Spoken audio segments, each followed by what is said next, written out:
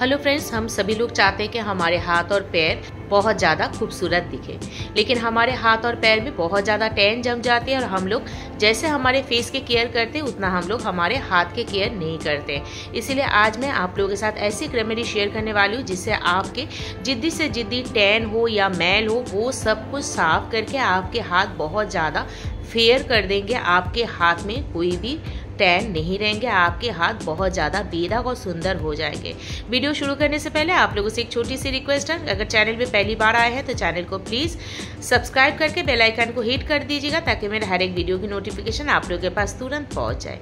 Video अच्छी लगे तो एक लाइक करना मत भूलिएगा और रेमेडी को फ्रेंड्स एंड फैमिली के साथ ज़रूर शेयर कीजिएगा। सिर्फ़ शैम्पू में कुछ चीज़ें मिला के आप लोग अगर हाथ और पैर को ऐसे धोते हैं तो आपके पैर बेदाग और बहुत ज़्यादा खूबसूरत हो जाएँगे। तो यहाँ पे देखिए, मैंने ले लिया है एक शैम्पू का पाउच और एक ही शैम्पू का सेचेट मैंने यहाँ पे यूज़ किया है। इस जगह पे आप लोग कोई भी बॉडी वॉश का भी यूज़ कर सकते हैं। उसके साथ मैं यहाँ पे ऐड कर रही हूँ coffee powder half teaspoon. Coffee powder हमारे हाथ और पैर से जिद्दी से जिद्दी टैन को हटा देगा और हमारे स्किन को पॉलिश करेगा। उसके साथ मैंने यहाँ पे ऐड किया है हाफ़ टी स्पून नमक। एंड उसके साथ मैं यहाँ पे ऐड करूँगी लेमन जूस लेमन में होता है एसिडिक नेचर जो हमारे स्किन को ब्राइटन करते हैं, हमारे स्किन को लाइटन करते हैं और हमारे जितने भी टैन होते हैं, उसको भी हटाते हैं। तो मैंने यहाँ पे हाफ़ लेमन जूस का यूज़ किया है। लेमन जो है ना, वो एक नेचुरल ब्लीच का भी काम करता है। लेमन होता है एसिडिक नेचर वाला, वो हमारे स्किन को बहुत ही अच्छे से टैन क्लियर करता है, हमारे स्किन को ब्राइटन करते हैं। लेमन के साथ जो दाने यहाँ पे बीज यहाँ पे गिरे थे, उसको मैंने उठा के फेंक दिया है। तो उसके साथ मैं यहाँ पे ऐड करूँगी एक इनो का सैचेट इनो यूज़ करने से हमारे स्किन के ऊपर जो भी टैन रहता है, बहुत ही डीपली क्लीन हो जाता है। हमारी जो डेड सेल की लेयर जम जाती है ना, जिद्दी से जिद्दी मैल होती है हमारे हाथ और पैर में, वो सारे क्लीन हो जाते हैं। तो सारे जो इंग्रेडिएंट मैंने यहाँ पे यूज़ किया है, सबको बहुत अच्छे से मिक्स कर लेंगे। लेमन जूस और इनो एक साथ मिलाने के बाद बहुत ज़्यादा झाक आप लोग देख पाएँगे। ये एक केमिकल रिएक्शन है। इससे हमारी स्किन में जो डेड सेल है और जो टैन है, वो बहुत अच्छे से क्लीन हो जाएँगे क्लियर हो जाएँगे। हमने यहाँ पे जो सॉल्ट यूज़ किया है, वो हमारे यहाँ पे स्क्रबिंग का काम करेगा। उसके साथ मैंने कॉफ़ी पाउडर का यूज़ किया, जो बहुत अच्छे से हमारी स्किन को पॉलिश करता है, हमारी स्किन को लाइटन करते हैं, हमारी स्किन को ब्राइटन करते हैं। इनो जो हमारे डेड सेल की लेयर को हटा देगा टैन को हटाएगा, उसके साथ शैम्पू जो है, वो भी स्किन को क्लीन करेगा। उसके बाद हम लोग ले लेंगे एक टमाटर का स्लाइस मैंने यहाँ पे हाफ़ टमाटर का स्लाइस लिया है, और एक नाइफ के मदद से मैं इसके अंदर छेद कर रही हूँ ताकि इसके अंदर जो पल्प है ना, वो बहुत आसानी से निकल के बाहर आ जाए। टमाटर हमारे स्किन में एक नेचुरल ब्लीच का काम करता है, इसीलिए मैंने यहाँ पे टमाटर का यूज़ किया है।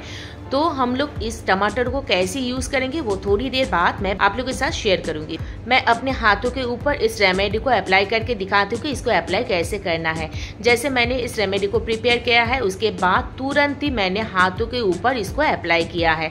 बहुत अच्छे से मैंने इसको हाथों के ऊपर अप्लाई किया है। पहले मैंने स्पून से ही अप्लाई किया था, क्योंकि स्पून में थोड़ा सा रह गया था। उसके बाद मैंने एक पैक ब्रश की मदद से बहुत अच्छे से अपने हाथों में यूज़ किया है। ऐसे ही आप लोगों को अप्लाई करना है अपने हाथों में और पैरों में, आपके बॉडी में जहाँ जहाँ आपके डार्क स्पॉट है या पैचेस हो गए हैं, जैसे गर्दन में, कनुई पे या नीज में या बिकनी लाइन पे, जहाँ पे भी आपको लग रहा है डार्क पैचेस हो गई है, आपके स्किन में जो डेड सेल की लेयर है, उस जगह पे बहुत ज़्यादा जम जाती है। उसके वजह से क्या होता है, हमारी स्किन बहुत ज़्यादा डार्क दिखते हैं, जैसे नीज में, कनोई पे, गर्दन पे, इस जगह पे।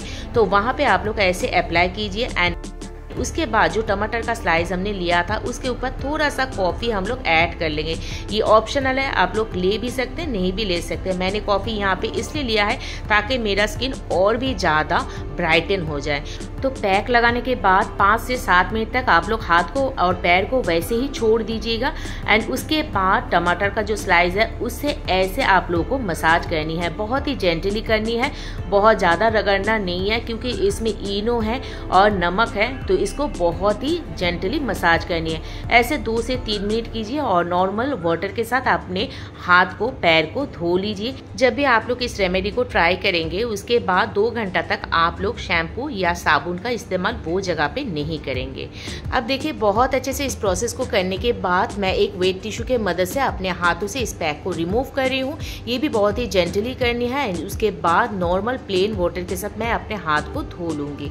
उसके बाद आप लोग देख पा रहे कितना ज़्यादा फ़र्क यहाँ पे दिख रहा है। मैं अपने दोनों हाथ को एक साथ में दिखा रही हूँ।